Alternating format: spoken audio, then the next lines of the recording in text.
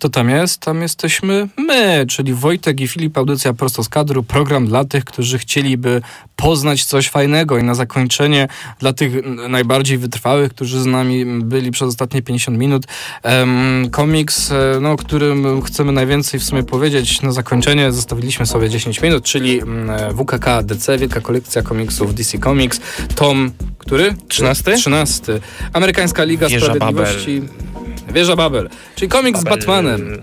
Znaczy, no jejku, no komiks z Batmanem. No wszyscy tak gadają, że komiks z Batmanem.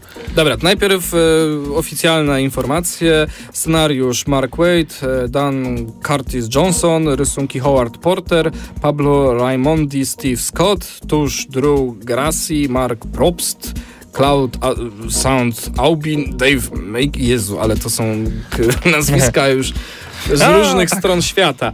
No dobra, no oficjalną część jakby zakończyliśmy, autorzy są wymienieni, wydawnictwo Eagle Moss, um, Wieża Babel. E, ogółem, z czym nam się kojarzy Wieża Babel? Co się tam e, stało? no właśnie, no, ja nie wiem, nie potrafię się dogadać z tobą teraz kompletnie. Jakbyśmy mówili zupełnie obcymi językami. Można tak te, ale to nie, tak. nie przejedzie w radiu.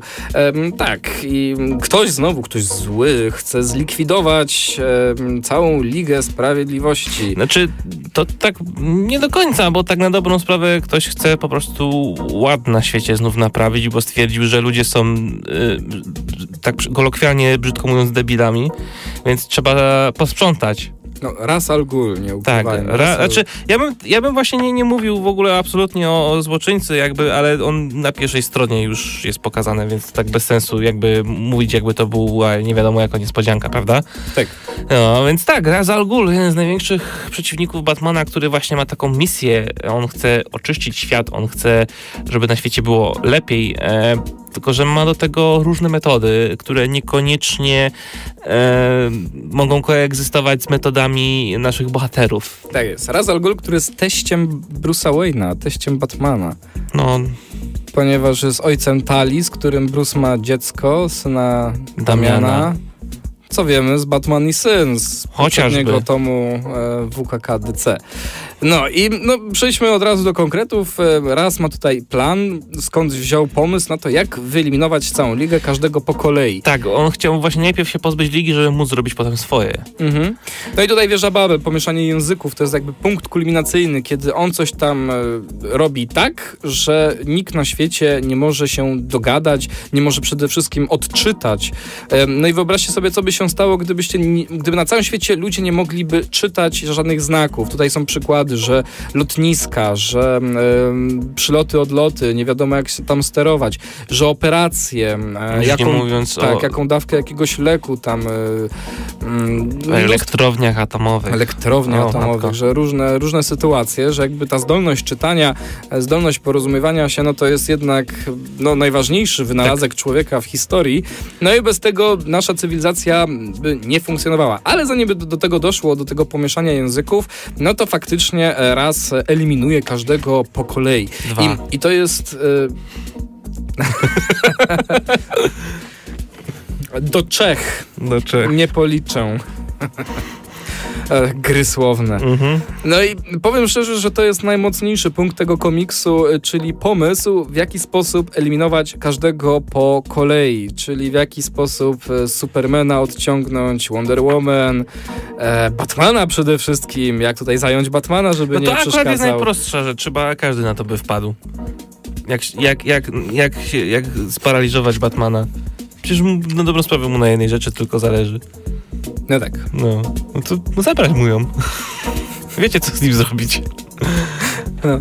Ale, y I, I ten, no, no i są właśnie jak, w jakiś sposób Wonder Woman, wszystkie po kolei. Tak. I to jest najfajniejszy motyw tego komiksu, bo te pomysły są kreatywne. Ja oczywiście e, mam za sobą mniej, e, mniejszą ilość poznanych tworów z wydawnictwa DC, ale przyznam, że kojarzy mi się, e, no nie wiem, na przykład zakończenie czwartego sezonu The Batman animacji, gdzie Batman musiał sprostać wszystkim członkom ligi, po nam roboty przejęły ich moc i w jaki sposób ich tam, w jaki tak. sposób się bronił przed, przed przed każdym z po kolei. E, było parę takich komiksów, e, gdzie jakby przede wszystkim Batman musiał pokazać haka jakiegoś, jakiego ma na każdego z bohaterów. Takie udowodnienie I... czytelnikowi rzeczywiście, że on to nie jest, że to, że on jest zwykłym człowiekiem, to nie znaczy, że jest bezwartościowy na tle tej całej reszty gromady, która ma supermoce. Tak jest. I w Wieży Babel były nowe, nowe rozwiązania. W inny sposób każdego po kolei eliminował. Najbardziej przypadł, przypadł do gustu pomysł, w jaki sposób e, zlikwidować e, zieloną latarnię. E, wiesz co, w ogóle, a pro, albo dobrze, kontynuuję, ja do tego wrócę. No nie, no i w zasadzie to jest najfajniejszy wątek mm, tego komiksu, czyli pomysły, w jaki sposób eliminować e, tych członków. One są stosunkowo kreatywne, świeże, nie powtarzają się z, nie wiem, animacjami, filmami czy innymi komiksami, przynajmniej ja nie spotkałem, nie wiem jak ty Wojtku. I to jest najfajniejsza część, ale są oczywiście wady. Znaczy, wiesz co, ja ogólnie mam taki dziwny problem ogólnie z tworami Marka Wade'a, bo to jest, Mark Wade, Mark Wade jest w ogóle twórca taki wow, on tyle komiksów dla DC stworzył i nie tylko zresztą dla DC, ale on, on zna te uniwersum jak mało kto w ogóle w, w tamtym wydawnictwie i, i on ma właśnie takie komiksy, które czytam z wielką przyjemnością, i są też takie, które czytam, gdzie po prostu nie jestem do końca pewien, czy to, co on tam za każdym razem pokazuje, mi się podoba. W sensie mam bardzo duże wątpliwości co do pewnych pomysłów. E, chyba naj... sporo mi takich zagwostek zrobiło chociażby, e, co będziemy też pewnie niedługo omawiać, Liga Sprawiedliwości rok pierwszy, gdzie są takie sceny, gdzie ja się zastanawiam, czy naprawdę on coś takiego mógł napisać, a potem zaraz są całkiem ciekawe pomysły. No z, kurczę, z Tower of Babel mam bardzo podobną zagwozdkę. Są rzeczy, które wypadają całkiem ciekawie. E, mnie najbardziej w tym komiksie podoba e, się to, jakie konsekwencje spotykają Batmana od Ligi, kiedy oni się e, dowiadują skąd w ogóle ten przeciek informacji mógł przejść odnośnie ich słabości, dlaczego w ogóle coś takiego istniało. Tak, to też jest pozytywny aspekt tego tak, komiksu. Ja, ja, ja nie zdradzę oczywiście o co dokładnie chodzi. Znaczy inaczej, bo powiem, że jest głosowanie ogólnie nad losem Batmana w lidze. Jaki jest jego wynik? Tego nie zdradzę. E, musicie koniecznie sprawdzić to sami. Um, no a w Filipie... Wady. No...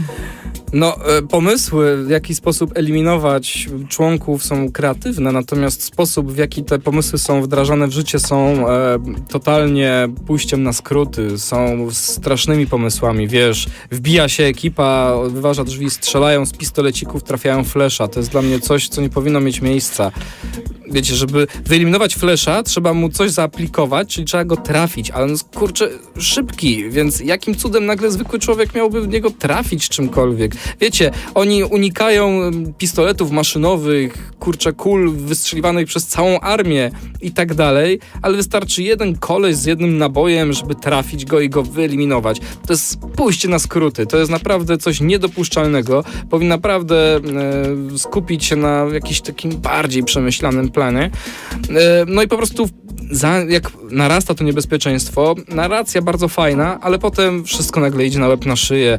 Są taka jest duża skrótowość. Być może jakby ten komiks był dłuższy, e, nie wiem, o dwa, trzy zeszyty, to historię można byłoby lepiej rozciągnąć, e, skupić się na pewnych e, wątkach, które można by po prostu rozciągnąć, ale tak to mamy straszne skróty, infantylne wręcz. I tak jak na początku komiks rozpoczyna się bardzo przyjemnie, bardzo fajna lektura, tak w pewnym momencie to kurczę, ten, ten zaczyna opadać e, ten poziom i to jest niestety wadliwość, że tak jak ty powiedziałeś, pod koniec zastanawiasz się, czy ten komik ci się podobał, czy się nie podobał, bo są wyraźne plusy i wyraźne minusy i on jest gdzieś w tym momencie po środku. Tak, e, ja jeszcze tylko od siebie dodam, że w sumie e, Widać, widać jakby tutaj już lepszą kreskę Howarda Portera, który się powoli, moim zdaniem, zaczął się lepiej trochę wyrabiać, bo on wcześniej pracował też nad... Bo ta historia jest w ramach e, serii JLA, e, którą rozpoczął Grant Morrison, tam Howard Porter też był od początku, e, którego tam rysunki mi się kojarzyły z takimi naprawdę kiepskimi pracami z DeviantArta. Tutaj już jest trochę lepiej. Natomiast e, bardzo sobie chwalę tą historię dodatkową, która jest w tym tomie. To jest...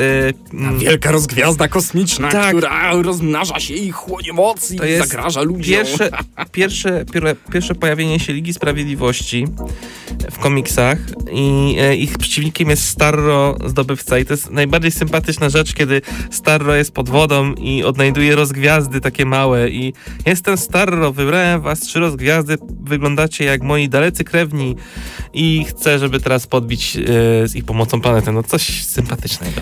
Bardzo, bardzo kiczowate. Można poprawić sobie humor po lekturze Wieży Babel. Tak. E, no i z jakiego wydawnictwa? Z wielkiej kolekcji Kolekcji komiksów. DC Znaczy Comics. z kolekcja wydawnictwa Eagle Moss.